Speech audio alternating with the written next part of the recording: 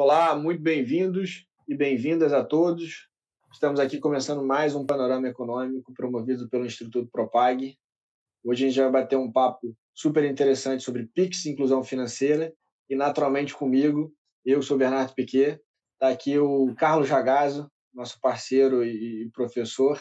Carlos, muito bem-vindo mais uma vez. Salve, salve, Bernardo. Prazer enorme estar aqui com você de novo. E como comentei, a gente vai bater um papo hoje sobre PIX e inclusão financeira. É, o PIX é um assunto que se torna, além de importante, vem se tornando extremamente urgente, porque está em vias de ser começar o processo de implementação previsto aí para o final do ano, para o mês de novembro, pelo Banco Central. E para quem tem um pouco menos de intimidade no assunto, o Pix é uma plataforma de pagamento instantâneo que o Banco Central é, desenvolveu, está estruturando e lançando agora em novembro, é através do qual os participantes vão poder fazer é, trocas e movimentações financeiras, o que o Banco Central está chamando de transações de bolso para bolso. Então, a ideia é diminuir é, o espaço e, e, os intermediários nas transações financeiras, o que torna o assunto super relevante, porque ele mexe bastante com a dinâmica e com a capacidade competitiva no mercado, especialmente porque ele busca transações de menor valor em que o dinheiro ainda é muito predominante. Então, tem um espaço para de, ampli, de ampliar é, o mercado endereçado de meios eletrônicos de pagamento super relevante. Mas outra faceta da discussão sobre Pix, que é tão relevante quanto, é qual que é o papel dele no processo de inclusão financeira. Então, vou pegar esse gancho para te fazer, Ragaz, a primeira pergunta, de por que, que você entende que o Pix é visto como uma forma de promover inclusão financeira no Brasil? Compartilha com a gente, por favor, a tua percepção sobre isso. Acho que tem vários ângulos para a gente olhar aí, né? Você tem um primeiro movimento que a gente já viu, né, que é o uso das carteiras digitais. É, então você vê esse uso né, em movimento de expansão por conta do Pix, que por sua vez também viabiliza um modelo de facilidade e velocidade para que os informais possam receber dinheiro. É, e embora a gente esteja num mundo onde você tem uma prevalência absoluta de dinheiro e, quando não dinheiro, boleto, é, e que você tem assim barreiras de digitalização, é, na verdade você já tem uma infraestrutura para poder viabilizar esses pagamentos digitais, que é o uso disseminadíssimo de uso de smartphone no Brasil. Então a gente consegue sim, né? existe essa barreira é, e você tem a, a, um problema de educação digital para você conseguir fazer com que as pessoas migrem para os pagamentos online mas a infraestrutura está lá. Né? E o Banco Central foi relevante para poder construir essa infraestrutura junto com essa de pagamento, junto com essa estrutura de smartphone. Então, ele tem essa possibilidade. E a gente precisa entender um pouco qual é esse cenário. Né? Brasil, você tem uma quantidade, mais de 20 milhões de brasileiros são autônomos, grande parte desse pessoal é, trabalha de maneira não oficial, né? você está falando de vendedores, é, prestadores de serviços domésticos, e para esse pessoal, né, a principal forma de pagamento é dinheiro. Você está olhando aí para, sei lá, 70% dos brasileiros, né? 80% do, da população são não oficiais. Muito, muito, muito grande, né? E esse pessoal não tem uma oferta adequada para eles, né? Eles têm um acesso limitado a cartão de crédito, tem alta taxa para manutenção de conta bancária, é difícil, né, esse movimento. Então, isso explica, inclusive, que o segundo principal meio de pagamento não é, é além do dinheiro, aí é o boleto bancário. Então, assim, para você poder fazer esse movimento, isso que eu falei, né, essa criação dessa infraestrutura. O telefone ele é muito importante. Né, e eu já vi alguns dados dizendo que hoje em dia você tem uma média de 1,12 telefones é, celulares por capita. Né? E o Brasil já está mais acostum se acostumando a fazer as transações bancárias por meio de dispositivo móvel. Hoje é quase 60% das transações bancárias que acontecem online, né? já acontece por meio móvel. Então, quando você olha no final das contas, acho que esse movimento que aconteceu via pandemia de que, sei lá, quase 90 milhões de pessoas receberam auxílio emergencial, esse pessoal está sendo empurrado é, para o ambiente online, num lugar onde já existe né, a infraestrutura. Por um lado, agora vai ter o Pix, mas já tinha o smartphone. Então, o sistema precisa meio que convergir para apoiar agora e, e fazer com que essas pessoas sejam qualificadas, sejam treinadas para poder fazer esse salto para fazer as transações via Pix. Mas o fato é, a gente está com todas as condições para que isso possa acontecer. A gente tem que superar as barreiras culturais. A parte de tecnologia já está aí. Muito bom. Legal, acho que tem um, tem um, de fato, acho que tem uma oportunidade muito grande que, eu não, que eu acho que o Banco Central endereçou super bem. Acho que a gente vai conversar um pouco mais sobre alguns casos internacionais que eu acho que se assemelham muito ao que o Banco Central vem fazendo aqui. Eu acho que esse desafio de criar uma grande plataforma, um denominador comum, que é essa infraestrutura, através do qual as empresas vão poder fornecer serviços de uma forma, com muitas aspas, menos onerosa do que naturalmente se elas tivessem que desenvolver a infraestrutura 100% por conta, né? e além de desenvolver a infraestrutura, o desafio de integração ou de interoperabilidade, o que em tese libera essas empresas para poder pensar mais em como adequar o serviço e o acesso a essa plataforma de uma forma adequada ao perfil daquele usuário. A gente está falando de um usuário que historicamente é sub ou mal atendido e que portanto, precisa desse olhar mais cuidadoso e mais e mais e com mais carinho para poder ter suas demandas atendidas dentro das suas limitações, sejam de conectividade, por exemplo, seja inclusive cultural de, de confiança nesse sistema financeiro de maneira mais ampla, que talvez para ele seja menos familiar esse uso é, digitalizado. Né? Então, pegando um pouco desse gancho, cara, entender um pouco da tua percepção, quais são as dimensões do problema, os desafios, né? E se você tem exemplos internacionais aí para trazer para a conversa, que a gente possa usar como parâmetro e sim se espelhar para que a gente pense nessa jornada que não é de sucesso dado, mas é muito provável, mas é uma empreitada que não tem como correr nessa direção, né? na direção contrária a ela. Vamos ter que digitalizar e incluir. É, o, o que é interessante aí é que a gente está resolvendo o lado é, da oferta. Né? Então, a gente tem o, o smartphone para que o pagamento possa ser feito, você tem a plataforma, o Pix, que vai ser lançada em novembro, a gente tem que olhar agora para o lado da demanda. Né? Então, hoje em dia, o Brasil tem 45 milhões de desbancarizados que movimentam quase um tri é, na economia anualmente. Né? E, e, tem um perfil muito específico, né? porque ele tem é, majoritariamente, quase 90%, pertence às classes C, D e E, é, e um percentual muito grande que não frequenta a escola ou estudaram só até o ensino fundamental. Então, tem aí uma, um desafio de como é que você vai fazer não só a adequação de oferta, mas também a transição desse pessoal para a plataforma, porque você precisa ter algum grau de educação financeira e tecnológica para você conseguir fazer esse salto. Né? Então é, é, é, bem complicado. Você tem um percentual muito grande desse, desse que está desbancarizado que literalmente prefere não trabalhar com nada digital, prefere trabalhar só com dinheiro, que é mais fácil. Então a gente olha para que exemplos? Né? Óbvio que a gente não vai olhar para a Suécia, a gente não vai olhar para a Suíça. Né? A gente tem que olhar para lugares que têm perfis mais semelhantes com os nossos para a gente conseguir extrair daí uma boa ideia. É, então, eu, eu passo para o pessoal de casa, tem um exemplo assim, incrível, é, que é a Índia. A gente já falou da Índia aqui no, no nosso canal mal, né, antes, né, quando a gente estava discutindo um pouco o que tinha acontecido com a retirada das notas, acho que foi de 500 e mil rúpias, né, é, as notas mais altas, como uma tentativa de tentar digitalizar, uma tentativa de digitalizar que não deu muito certo. Mas logo na sequência, é, e a Índia ela tem um, um, assim, um, uma quantidade de pessoas desbancarizadas, ou melhor, tinha uma quantidade de pessoas desbancarizadas muito grande. Né? Então, tinham previsões dizendo que é, é, só, só levaria mais de 50 anos para que 80% dos indianos né, conseguissem algum tipo de conta bancária. Né? Se você fosse levar em consideração a velocidade pré-2011, onde menos de 20% é, da população da Índia tinha uma conta bancária. Isso é. mudou completamente. Né? Quando eles criaram a plataforma deles de pagamentos digitais, a UPI, né, que criou a interoperabilidade de todas as fontes, destinatários, aí envolvendo o um movimento de inclusão de consumidores, empresas, fintechs, bancos, que você faz a liquidação instantânea dentro do Banco Central, né, no modelo de moeda fiduciária, e quebrando né, o monopólio de dados, nossa, o resultado foi incrível, incrível. É, é um dos principais exemplos. Né? Tem um, uma quantidade de volume é, muito grande sendo feito hoje em dia. E tem, sim, tem um marco de 2018 é, muito forte, né? um volume de transações enorme. Né? Eles têm, você pegar as notícias mais recentes, eles estão falando em algo em torno de chegar a ter uma previsão de um bilhão de transações dia, né? enquanto você tem isso mais ou menos hoje por mês.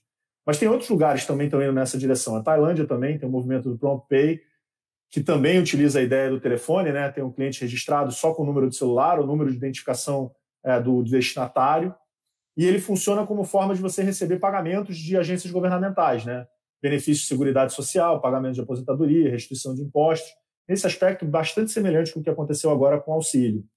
Então, assim, é, é, esses movimentos foram muito importantes para fazer com que, de fato, é, é mostrar para as pessoas que sim, é possível você trazer esse pessoal que está desbancarizado, acertando a oferta e também fazendo os incentivos adequados para que as pessoas entrem nas plataformas. Na Tailândia, especialmente, né, isso foi muito importante, óbvio, né, aí um pouco mais acima, né, mas essa decisão do governo de fornecer reembolso de imposto por meio da plataforma foi muito relevante para poder massificar o uso dessa plataforma. Quando a gente fala de bancarizado no Brasil, a gente está falando talvez de camadas até mais, mais abaixo dessas, mas o que é importante trazer disso é a ideia de você ter um produto que tem uma oferta adequada para esse grupo específico e que você tome os cuidados para poder fazer a educação para a transição digital. Esses dois movimentos são os mais relevantes. O problema é grande, mas tem exemplos internacionais bem relevantes de que isso é possível. Muito, cara. O caso da Índia eu acho muito emblemático, é, até ajudando a contextualizar para a turma que está escutando a gente. A previsão que a gente que se tinha em 2011 é que sair da, da barra de 17% de bancarizado até 80% de bancarizado, no ritmo que estava estabelecido até aquele período de 2011, demoraria 50 anos, segundo o Banco Mundial, e os 80% foram atingidos em 2018, ou seja, sete anos depois, é, com base numa estratégia que eles, de alguma forma, têm uma similaridade com o que a gente está começando a viver no Brasil, que é a criação dessa plataforma única que equipara a capacidade de fornecimento de serviços das empresas privadas para poderem ter um olhar mais dedicado às particularidades de cada grupo que se deseja atender, especialmente aqueles que estão marginalizados do sistema. E eles justificam é, o sucesso em cima de um, de um tripé que eles julgam foram identidades, né? Então, que a construção de você permitir com que você consiga identificar quem é esse usuário final na ponta, então ter dado que te permita cadastrá-lo e acessá-lo com alguma algum nível de, de precisão. Um segundo pilar que era de próprios pagamentos, do que a ferramenta, a infraestrutura fornecida pelo Banco Central viabiliza. E o terceiro, naturalmente, de informação, que entra no ciclo virtu virtuoso. Né? Na hora que você coloca uma pessoa para dentro desse, desse ecossistema, naturalmente você vai tendo mais informação sobre, e por consequência você consegue fazer, é, seja políticas públicas ou seja oferta de serviços mais adequada àquele perfil, porque invariavelmente você está começando a entender um pouco mais o padrão de comportamento e que tipo de, de funcionamento, é, que tipo de incentivo melhor responde, além de todas essas outras camadas que o Ragazzo comentou, de auxílios emergenciais e de outras distribuições de recursos vindo do governo utilizarem essa plataforma como um caminho oficial que naturalmente traz é, a adesão é, voluntária, ou pelo menos a desejada, é, para usar esse sistema. Mas a gente entende também que são tem desafios grandes, de naturezas distintas, quando a gente fala desse assunto. Né? Um dos primeiros que, o, que a gente comentou aqui é entender um pouco a natureza desse, ou pelo menos a realidade desse, desse usuário que se deseja incluir. A gente está falando de um público dos 45 milhões que entende-se que estão desbancarizados, a gente está falando de um universo de mais ou menos é, 13 milhões, por exemplo, que durante o período do auxílio emergencial foram identificados sem CPF ou com CPF inválido. Então, naturalmente, você tem que fazer correções dessa natureza mais básicas para você poder fazer a inclusão dessa turma. E tem um outro olhar que o, que o Ragazzo antecipou aqui, mas trazendo um pouco em número, que é a gente tem mais ou menos 11,3 milhões de brasileiros que são classificados como analfabetos, ou sem acesso à internet, ou sem conta banco. Então, acho que tem outra forma de se criar, outro desafio, que é como é que você cria uma experiência do usuário é, intuitivo o suficiente para quem tem algumas restrições de acessar esses serviços, de interagir com esses serviços de uma forma um pouco mais complexa. Então, acho que uma vez que você cria essa plataforma, que é o que o Banco Central está fazendo de infraestrutura, você tem um mercado privado que vai poder endereçar isso, porque o custo de acesso em tese deveria ser bem mais reduzido, e aí você consegue focar especialmente no serviço. Mas entre esses tem vários outros riscos e outros problemas, a gente sabe que não é, não é, não é uma, um jogo de carta marcada, né? não é a linha reta que a gente vai andar, tem sérios desafios a serem superados ao longo dessa jornada empreendedora que vamos viver enquanto comunidade, né? É, e aí, queria saber de você, Ragazzo, quais são as estratégias que o Banco Central desenhou para facilitar a adesão do público e potencializar esse processo de inclusão? Na tua percepção, quais foram elas? Não, o que eu tenho visto o Banco Central é, tentando viabilizar logo de início uma série de possibilidades para o consumidor começar a entender que o Pix pode ser sim utilizado. Então, teve um primeiro movimento é, que acabou de acontecer, na verdade, um acordo com a ANEEL né, para que os consumidores possam pagar contas de luz né, por meio do pagamento instantâneo. É, então, assim, o próprio, o próprio presidente do Banco Central destacou é, que esse acordo com a, com a ANEEL vai sedimentar a base de crescimento do Pix no país. Tem uma ideia de você começar a viabilizar pagamento de tarifas via Pix, da mesma maneira como tem é, uma lógica de você possa, que você possa pagar seus impostos ou fazer qualquer tipo de recolhimento à União por meio do Pix. Né? Desde, sei lá, pagar uma taxa de passaporte ou entrada em algum parque ou algo do gênero. Né? Para tentar. Acho que é uma ideia de você tentar transformar o uso do Pix em algo cotidiano para você ampliar a base de utilização. É, tem esses dois lados e tem um lado também de você criar uma marca única para você identificar o Pix de maneira clara e inequívoca. Então, o que eu tenho visto assim até agora, você tem esse, essa tentativa de você ampliar as oportunidades de pagamento, porque se isso estivesse restrito a poucas possibilidades, vai ser muito difícil da base crescer, e de você criar um identificador, né, para você não ter vários Pix. Né? Você vai ter vários prestadores intermediários nesse meio do caminho, mas a plataforma é única assim como é, por exemplo, na Índia, que a gente viu é, funcionar bastante. E a partir daí você vê assim, todas essas possibilidades de redução de custo do sistema de pagamentos que o Pix viabiliza. É, essa parte da, da marca única é, parece, para algumas pessoas, é, coisa pequena, mas é super relevante, né? porque o desafio cultural, especialmente quando você fala de, de serviço financeiro, que tem, para além da desconfiança natural do ser humano, tem a desconfiança quando você está mexendo com, com, com dinheiro. Né?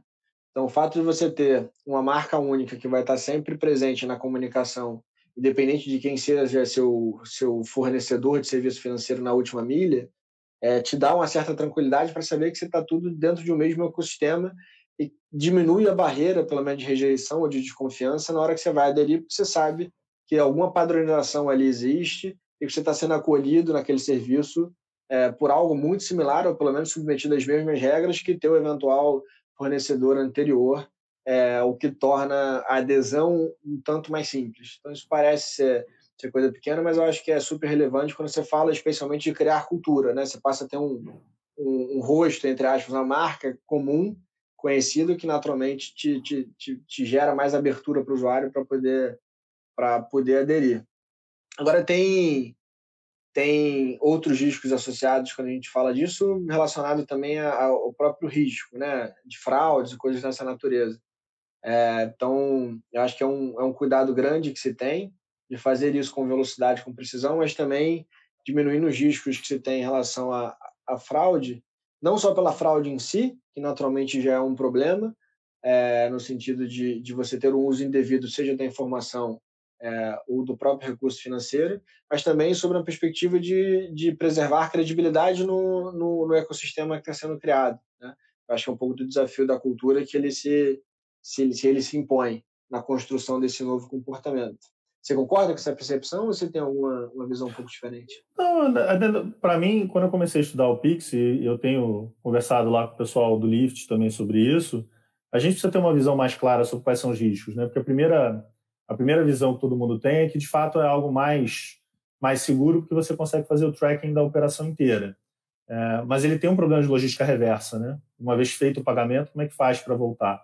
E você tem, sim, possibilidade de fraudes, é, é, e o Brasil é particularmente é, bastante eficiente em fraudes envolvendo cartões e por aí vai. Então, a gente tem, sim, muita proteção sobre isso porque o mercado se desenvolveu para poder evitar, mas Agora é um novo, é uma nova tecnologia, uma nova realidade. Isso vai ter que acontecer.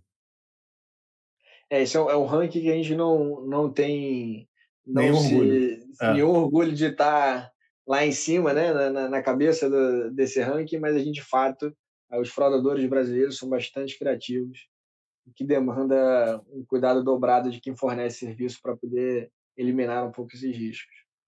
E aí, Ragazzo, avançando um pouco mais na nossa discussão aqui, é, entender um pouco como é que está a tua percepção sobre como é que a iniciativa privada, as instituições financeiras, fintechs, estão é, vendo essa, esse, esse movimento do Pix como uma oportunidade, se a turma já está se mexendo para oferecer esses serviços e fazer propriamente essa inclusão, é, ou ainda estão andando com alguma resistência? Não. Acho que a competição veio com tudo. Se você olhar bancos tradicionais, fintechs, está todo mundo tentando lançar novas carteiras digitais, soluções financeiras, e você começa a ver, inclusive, o foco em desbancarizado.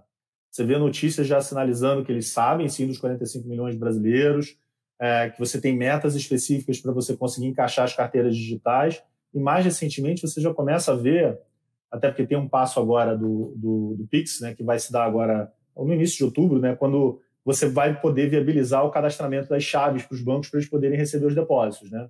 Os bancos, que você vê, na verdade, não só os bancos, né, mas de uma maneira geral, é, os players do mercado já se antecipando e promovendo um pré-cadastramento nos sites. Né? Então, é, a gente sabe que em novembro todas as instituições financeiras com mais de 500 mil contas ativas vão ser obrigadas a oferecer o PIX, mas todo mundo correu muito antes. Então, acho que as pessoas estão vendo, sim, essa possibilidade dessa criação dessa infraestrutura, né, a partir da existência do, é, dos telefones celulares e também né, dessa infra de pagamento instantâneo criada pelo Banco Central, mas mais do que isso, acho que todo o mercado está acreditando que vai conseguir resolver esse problema de cultura e vai conseguir sim disputar esse pessoal, esses 45 milhões, talvez mais gente ainda, para poder jogar ele dentro do serviço bancário. E aí, o, sistema financeiro. O que é interessante com relação a isso não é só essa confiança, mas a visão, sim, se você tiver um produto que está adequado para esse público, aí é realmente uma questão de tempo. Pode dar errado? Pode. Mas não parece que esse vai ser o caso. É, pelo menos não do que eu estou vendo assim da, da, agressividade do mercado. Esse pré-cadastramento você está vendo em várias instituições financeiras agora. É, a gente tem muito, muito objeto de publicidade, né? de marketing, você vê televisão, mídia tradicional, mídia digital, é, várias instituições financeiras lançando sua versão do Pix, o que eles chamam sua versão do Pix e por aí vai. É, e muitas fintechs sem a mesma, o mesmo poderio de, de marketing, mas a gente sabe que também estão atuando super pesado nesse assunto. Eu acho que não é para ser diferente, né? A gente está falando de um mercado que no Brasil por ano movimenta-se mais ou menos 900 bilhões de reais é, em dinheiro espécie. Então é, é um mercado novo de, de quase de trilhão para poder ser, ser abocanhado aí pela competição e ser disputado pela competição. Acho que é um mercado em números suficientemente interessantes para justificar esse movimento. E um dado que você trouxe no início, que é o concorrente, de alguma forma, além do dinheiro, que já é um, um, uma ferramenta com a usabilidade é, um tanto quanto restrita, é, a segunda concorrente é o boleto.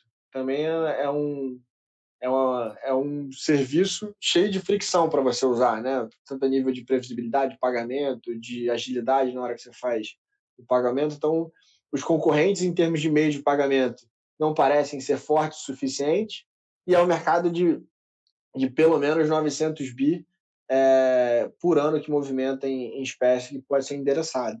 Acho que tem mais do que justificativa para que as fintechs, as instituições financeiras se mobilizem para poder endereçar esse problema, que é um problema é, real, né? só uma questão de mercado, né? você ter essa turma marginalizada e sem acesso à informação políticas públicas é, ficam comprometidas de serem. Vídeo, vídeo que a gente teve no início da pandemia para distribuição do auxílio emergencial, que tanto a nível de cadastro como a nível de distribuição do recurso é, foi uma operação bem mais complexa e precisava de agilidade e não tinha por falta desse tanto dessa capilaridade de distribuição quanto de informações.